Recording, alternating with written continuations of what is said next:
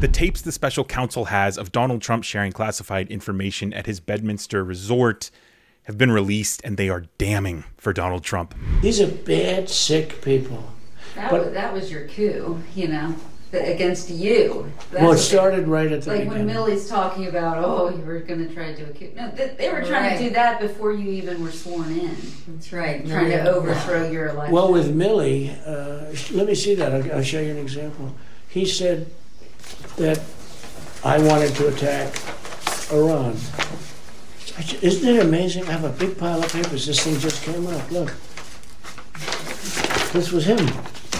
They presented me this. This is off the record, but they presented me this. This was him. This was the Defense Department and him. Wow. We looked at some. This was him. This wasn't done by me. This was him. Mm. All sorts of stuff. It's pages long. Look. Wait a minute. Let's see here. At that. yeah. I just found. Isn't that amazing? This totally wins my case, you know. Mhm. Except it is like highly confidential, secret. This is secret information. But look, look at this. You attack, and Hillary would print that out all the time, you know.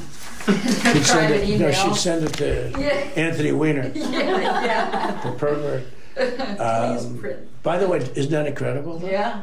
I was just saying because we were talking about it, and you know, he said he wanted to attack Iran, and what? These are the you did. papers. It's pretty, Oh, This was done by the military, given to me. Uh, I think we can probably right I don't know. We'll, we'll have to see. Yeah, we'll have to try to declassify. figure out a, a yeah. See, as president, I could have declassified Yeah. it. Now I can't, you know. But this is yeah, now, classified. now we have a problem. Isn't that interesting? yeah. It's so cool. I mean, it's so. I'm look. We here and I have. And you probably almost didn't believe me, but now you believe me. No, I believe It's you. incredible, right? No, they, Hey, bring they some. Uh, bring some cokes in, please. There it is. Donald Trump saying these documents were given to him by the military. They're highly confidential, they're secret. They're going to have to declassify them. As president, he could have declassified it. Now he can't. So cool. And then he orders a round of Cokes. Now, in that tape, you can just hear how Donald Trump surrounds himself at his resorts with yes men and women. And that's one of the reasons why he's in so much trouble, is because somewhere in the White House, somewhere during his presidency when he was on his way out, you know that he was probably encouraged to do this. Uh, he was told that he could do this, and oh boy, oh boy, uh, were they wrong. You know, Donald Trump wanted to keep those documents because he somehow thinks it raises this point about Milley trying to overthrow him. Just completely absurd. Kind of, you know, th- that kind of thinking from Mr. Trump comes after four long years, stressful years where he created so many enemies and so many people were out to get him. Uh, so, of course, his mind was in that kind of place where he's just everybody's out to get me. I've got to protect myself at whatever costs, even if that means I'm going to steal classified information uh, and now share it with uh, writers. These uh, people were supposedly um, Mark Meadows writers. They were writing a. Uh, they were his ghostwriters for his his memoirs uh, that that he's writing or his biopic that he's writing. But really, the only question I have is, uh, do they serve coke in jail? I, I highly doubt it, Mr. Trump. So, good luck ordering a round of cokes uh, in the next six months as you sit in a jail cell. Uh, we'll see how this trial is going to go. I mean, with this tape, it's pretty much an open and shut case. It really should just take a few hours.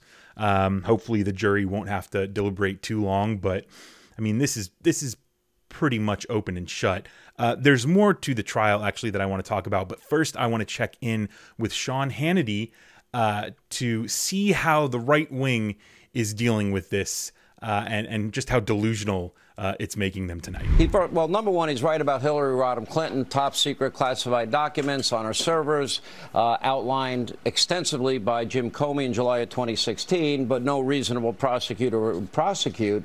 Uh, now, while he did say, you know, this is stuff that he got from the military that would be highly confidential and secret, and says at another point, as president, I could have de declassified it. Now I couldn't, but now, you know, it would still be a secret. That does not confirm for me whether or not specifically this, this document was declassified or not. Uh, was that actually a real, the real document, or was it a story that he was telling?